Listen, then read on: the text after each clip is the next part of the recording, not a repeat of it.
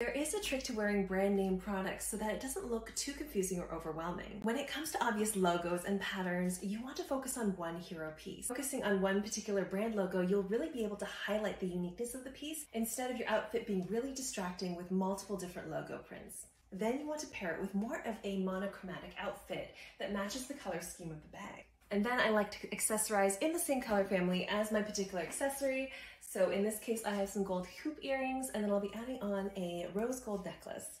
And you can wear other brand name items as well, but just make sure they're not super obvious in its logo. Like this particular one is from Tiffany, but it's not super obvious, so it won't detract from this hero product. And don't be afraid to add a little bit of color to your look. In this case, I'm putting on some rose gold sunglasses. And I'm ready to go to the mall or the beach or a date night. See you in the next one.